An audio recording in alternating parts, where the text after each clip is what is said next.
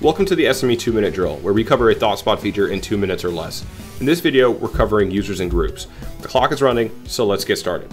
So, what, assuming you're not using Active Directory, you can go in and manually create groups as well as users in ThoughtSpot. So, first, you would need to create a group and assign it privileges. So, the first thing, give it a group name, a display name, and decide if it's sharing or not shareable.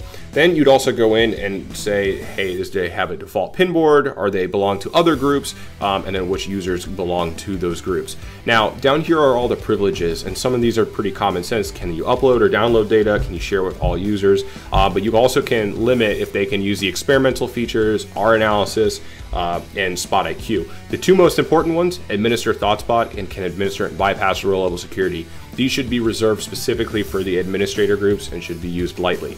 Now, once you've created your groups, then you can assign your specific users to those groups. When you create a user, you're going to want to make sure you give them a unique username, a display name that they're comfortable with, uh, and you can even specify if the individual user is shareable or not shareable. And then lastly, you will want to make sure that you give them a email that's associated with one of the whitelisted domains. The reason being is that they would receive an onboarding email, they'd receive email when their SpotIQ is done, they'd also receive emails if they're following a specific pinboard or headline metric.